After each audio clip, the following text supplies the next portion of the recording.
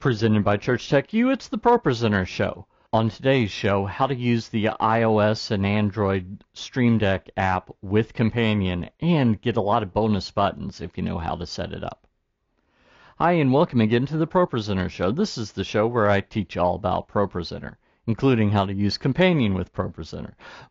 My name is Paul Alan Clifford, and before we get started, if you've ever been curious about um, whether a Stream Deck was right for your setup, go ahead, give me a like, thumbs up, etc. So, this is one of those features that's really, really valuable. The ability to control things remotely with software like Companion. One thing that I've heard though is I'm not sure that that's right for us. We just need to test it out, see if it's worth the investment, etc. Well, First off, I'm going to try and remember to put a link to my uh, Amazon affiliate uh, for the Stream Deck because as I'm recording this, we're in the end of October and Black Friday, they normally put those things on sale. But secondly, if you come to this later, or if you just want to test it out, or if you want a wireless version with just a few buttons, this is for you. So let's head over to my computer and we're going to start with talking a little bit about um, talking a little bit about the software we need to pull this off and all of it's free. So here we are and uh, the we'll come back to this one. I meant to click it over there. But first thing we're going to need to do is go to elgato.com and uh, the downloads link here. And what we're looking for is the Stream Deck app. So we need to download that. I've already done that. I've installed it over here. So that's uh, thing number one. Thing number two, we're going to need the uh, app for your mobile device. Now, what I'm about to tell you is it's free on iOS, and last time I checked on Android, they didn't have a free version. So that's just the nature of the beast, unfortunately. So uh, that is, uh, if you're on iOS, you can use this QR code to get this app for free, and it enables you to have six buttons. So that's a pretty cool thing as well because with Companion, we can use those six buttons to do some interesting things. Now, next you're going to need to go to bitfocus.io here, and you will need to sign in to download Companion, but the login is free, so no big deal there. So get that and download and install Companion. And so once you install the Stream Deck app, that's there. Once you install um, companion, this will be here. It might look a little bit different uh, because I'm on version 2.4.2 uh, in order for this to work. So if you've got a newer version, I think that it'll still work. I just wanted you to know that. First thing that I want you to do is make sure that you check this. Use Elgato plugin for Stream Deck access. Require, requires companion restart. I did not restart companion. So I'm not totally sure if that's just a bug in uh, 242 or what. But I did that. And then over here in the Stream Deck app, if we uh, go up here and add mobile device, this will pop up a QR code. And then in the iOS uh, app, it will enable you to capture that and connect the two. They need to be on the same network, so that's an important piece of the puzzle. But as long as you can get that sorted out, you'll be good. Now, let me show you a couple of things about that. So here is my phone, and the first thing you're going to want to do is up here. I think by default, this is like uh, this 5 by 3 layout. And if we click done, you see we've got a bunch of buttons, most of which have locks around them. So that means only these six are free. So might as well just hide those. And the way that we do that is, you might have guessed, we go to that gear icon, go back to layout, and then go to menu right there, and go back to settings, and done. Okay, so there we go. We're, we've only got those six showing.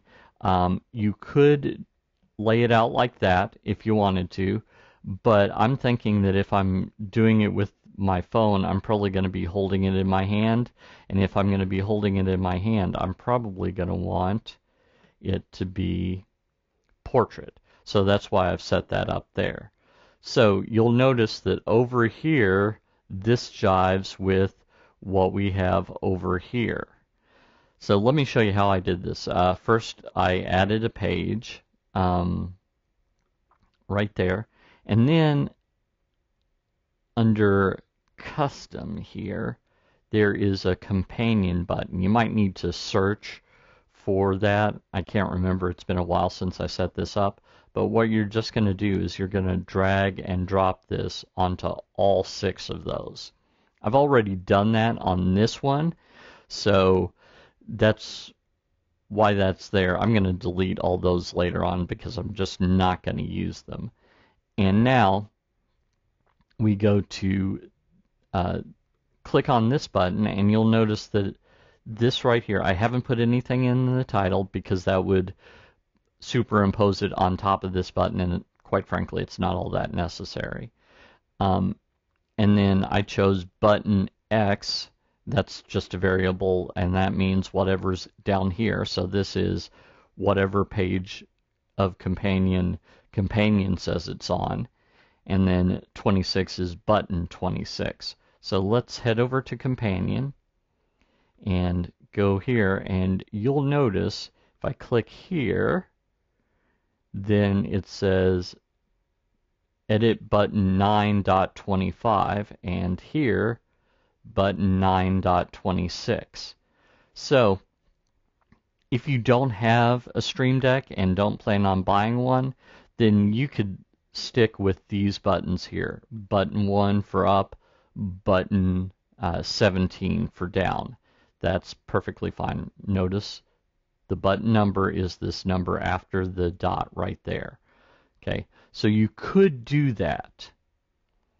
But let me uh, tell you that if you've got the 15 button one, which is these three by these five, you know, so it's this big, anything you put outside of that will not show up.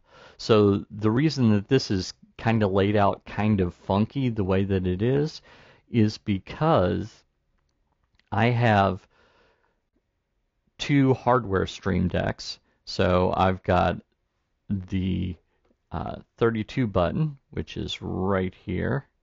You can't see it very well, but it's a big sucker. And I've got the original 15 button.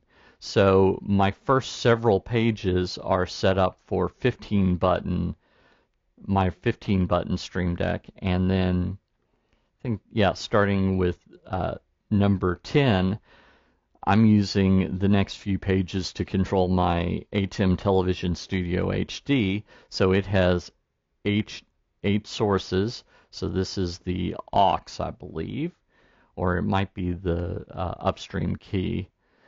I need to label that a little bit better. This is the program bus, this is the preview bus, and these are the transition buttons. Hey there, aspiring ProPresenter Pro. Are you tired of getting tangled up in tech trouble? Want to impress your congregation with mind blowing visuals? Well, look no further. Introducing ProPresenter 7 training at Church Tech U, your secret weapon for unlocking ProPresenter's full potential. Join me as I dive into the world of captivating presentations, smooth transitions, and jaw dropping effects. From beginner basics to advanced tips and tricks, I've got you covered. Don't miss out on this amazing opportunity. Visit churchtechu.com slash free trial for a free month now. Did I mention it's free? And revolutionize your ProPresenter game. Your congregation will thank you. So if we go through these pages, you'll notice that on every page I've got the up and down down here, and on the 15 button pages, I've got the up and down here on the left hand side. So that's the default, by the way. So I did a couple of things here, and let me take you to page 16. And the reason that I have this different is because if we go down here to page 16,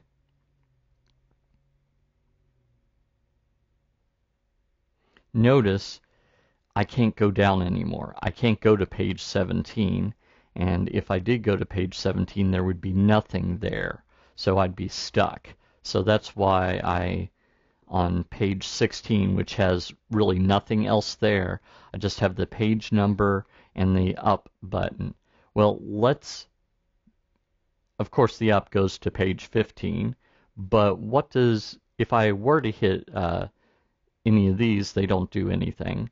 But if I hit page 16 here, it goes back to page one, which is very helpful. So if we click on this, tap one, then you can see that it's these four buttons are the other four buttons that I've set.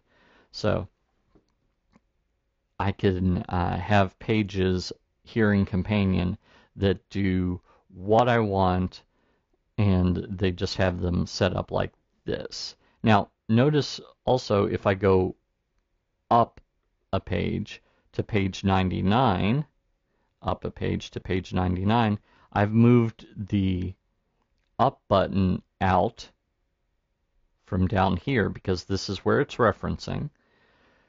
And I just put page 99 there so that it is a visual reference to me, hey, I can't go up anymore. Even if I accidentally do it, it's going to take me back to the first page. This goes down, which takes me back to the first page. So I have, on the extreme ends of the page numbers, I have uh, made it so that I can't go to page 98, and I can't go to page, from page 16, I can't go to page 17. So that's another little something that I want you to know. So going back over here, you might think, well, Paul, why don't you just do the dynamic, or why don't you just do page one up and down? And I didn't have any success with page one up and down actually doing what I want them to do. I think that they're page specific. But notice how we're on page one in here. If I click down page 2, 3, 4, 5, 6, 7, 8, 9, 10, 11, 12, 13, 14, 15, 16. So right now I've got 15 buttons in here,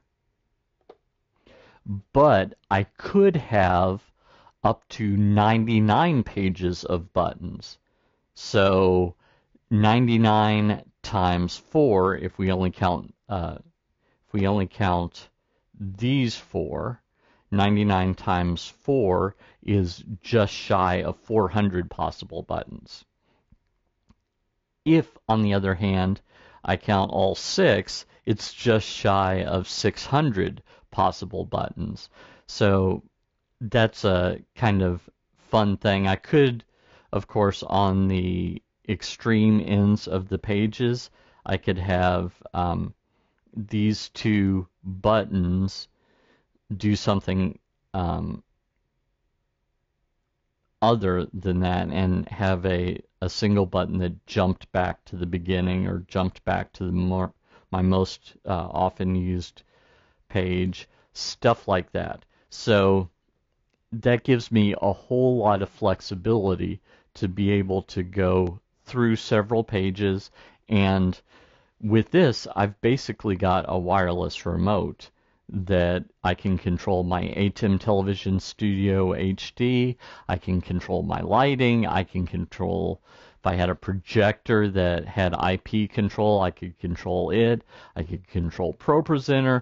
I can control basically everything in my studio with my phone, which uh, is kind of a cool little feature and cool that I can do that for free. Going to unlock these other pages here with more buttons that's a monthly price. At least I don't want to pay it. I could see situations where you would. Um, it would be nice anytime that I'm out, um, anytime that I'm out teaching at a conference or whatever, to not have to take my Stream Deck, to take my phone, which I'm absolutely going to take, and that'll save me a little bit of trouble if I'm flying out somewhere. Uh, so that's an advantage of doing that, and I suppose I could turn it on for a month and then turn it off for a month and then go from there. So that is how to use the Stream Deck app on iOS, and I'm sure it's quite similar on Android, to control things like ProPresenter 7 and other stuff in your uh, in your setup. If you like this content and you use ProPresenter 7, you'd probably like my ProPresenter 7 Quick Start course. So head on over to tdm.fyi slash pro, the number 7, and quick. Give me your name and email address, and I'll make a login for you for free. Until next time, this is Paul Alan Clifford from TrinityDigitalMedia.com and ChurchTechU.com, reminding you to go out and change eternity.